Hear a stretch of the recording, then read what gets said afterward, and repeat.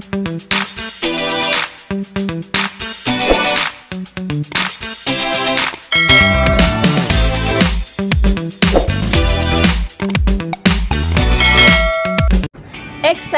at challenging. Sara, matindi ang pasabog sa Tala concert.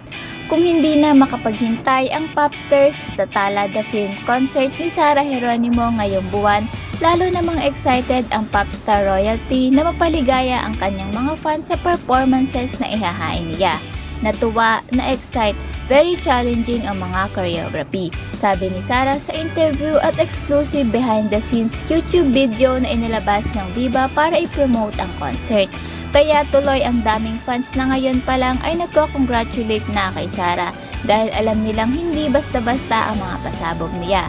Available pa rin ang tickets para sa Tala The Film Concert na kinunan pa sa Araneta Coliseum at mapapanood ito worldwide sa March 27 sa ktx.ph, i1 TFC at Sky Pay-Per-View.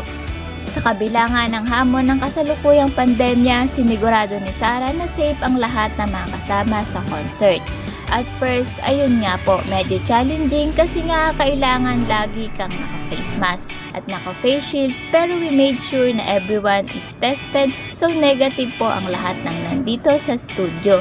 Medyo mahirap din kasi na nagdadance ka ng nakamask ka and face shield. Social distancing pa rin. Dagdag pa niya.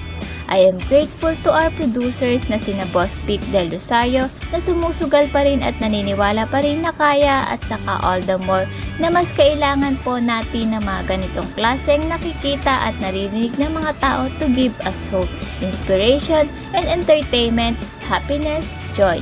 Sabi ni Sara, kaya habol na sa pagbili ng tickets at samahan ng popstar sa panonood ng Tala The Film Concert na mapapanood na ngayong Marso 27 sa ktx.ph, i1 TFC at Sky Pay-Per-View.